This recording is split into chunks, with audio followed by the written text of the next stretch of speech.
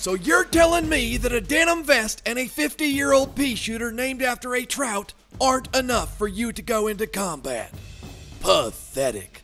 At the Battle of Soggy Bagel, I rode a three legged dog into the fight armed with nothing but bad breath and a cheese Danish. Fortunately, King Kubrick I has got a little program in place for you to gear up. And if you're good, it won't require 70 takes to get it right. Every day, your king will have a set of missions for you that you can complete in exchange for force points. Click the exclamation point at the top left to see what he has for you. A word of warning if you abort your quest once accepted, you will lose your quests for the day. If you complete all three missions, you will get a special coin with which you can go treasure hunting in the Pick and Win. What's that, soldier? You have not been briefed on Pick and Win?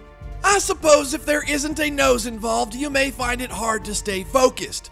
Report back to this briefing next week for full details. Dismissed!